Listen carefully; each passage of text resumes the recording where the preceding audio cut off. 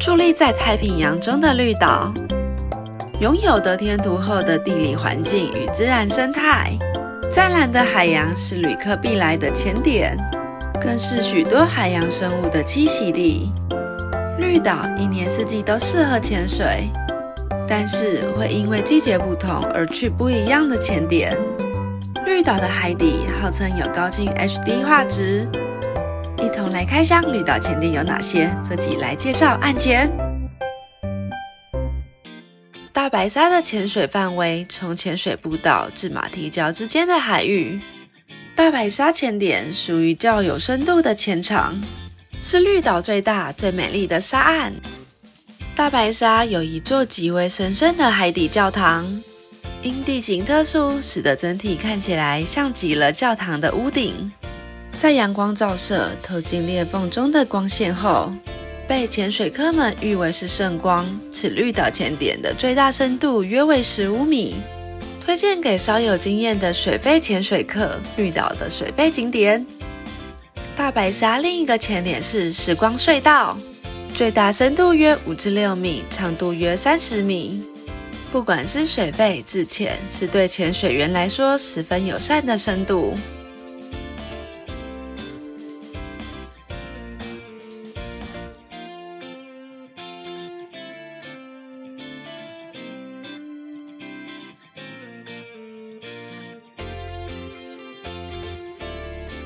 绿岛的独立礁其实不孤独，除了突出水面的独立礁外，尚有三至四颗高耸的礁石好朋友，像排金字塔一样矗立在沙地上。水下景点可欣赏覆盖率甚高的珊瑚群和高耸独立礁的地形，还有丰富的生态，是趟相当有变化性的丰富潜水行程。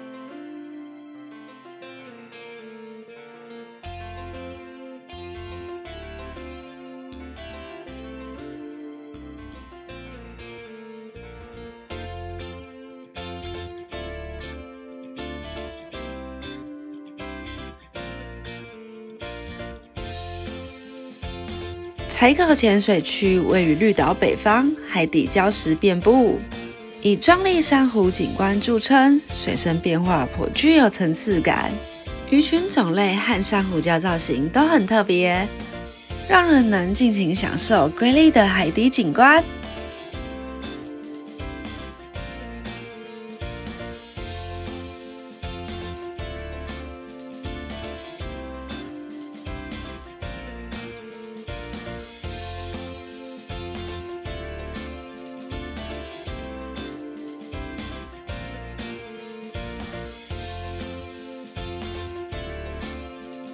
石廊保护区位于绿岛的西南面，主要特色为隆起珊瑚礁构成的群礁地形。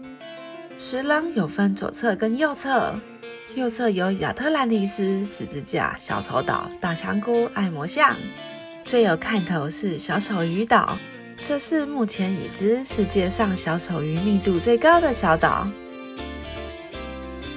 绿岛的热门潜水地点，绿岛十字架。十字架大约七米左右，这是特别设立的人工景点，伫立在沙地之中。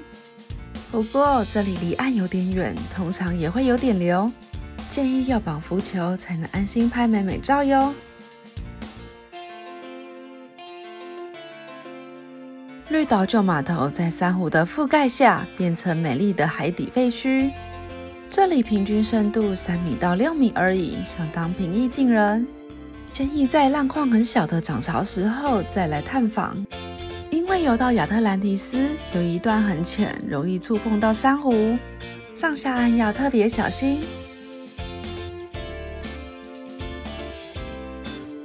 直廊左侧有位于浮潜区、海底油桶、爱心、小蓝鱼礁，石廊因海域受环状珊瑚礁所围绕。附近有温暖的太平洋黑潮北流通过，附近还有永生流，在这样优渥的条件下，形成丰富的海洋资源，滋养了罕见的软硬珊瑚以及各式各样的热带鱼群。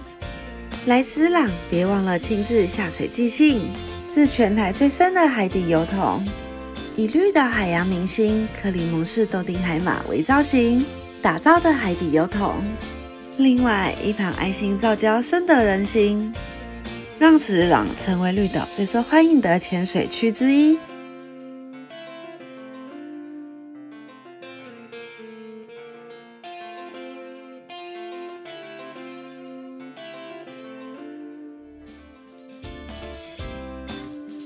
水贝投过明信片，之前当然也要来投一下啦。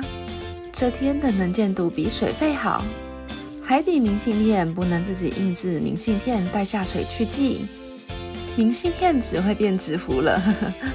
如果想买海底明信片，跟绿岛浅店买，不一定每天都有在卖，一张明信片七十元，一同来投下最深的祝福吧。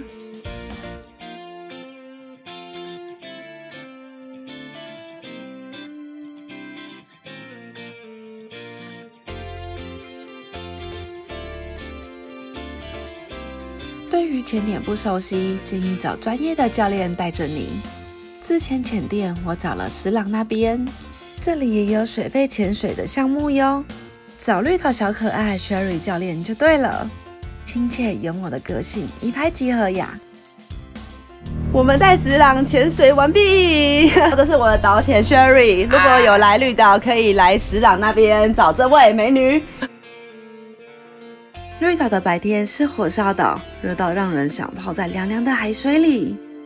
到了傍晚，满天星斗伴徐徐凉风，展现出热带海洋岛屿的度假风情。绿岛夜间水下的世界也非常精彩。这次夜潜目标是石朗，夜间的海洋生态相较白天感觉更精彩，色彩也更丰富。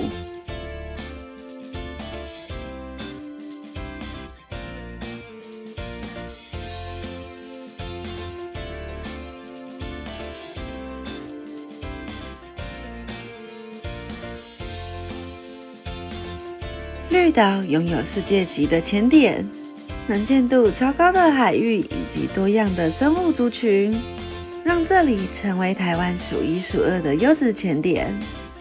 岸潜还有好几个潜点还没有去过，下次再开箱给大家。如果你也想体验潜水，非常推荐绿岛，相信你也会跟我一样爱上这座岛。